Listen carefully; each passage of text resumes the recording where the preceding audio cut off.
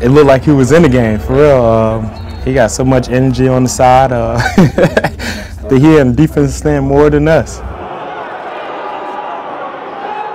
Sometimes I had to take charges. Sometimes I get knocked over by people. Sometimes I got to get in the stance to show them. But uh, you know, I think our program's been predicated around you know good defense, and every now and then I got to show Mike how low to get in that stance, so he's ready to defend.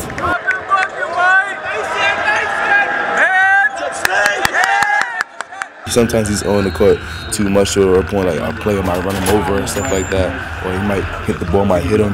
But I, you could just tell he loves the game, and you know he just wants to like um he wants us to love the game just as much as he do, and you know he's a funny guy. I'm gonna miss him, man.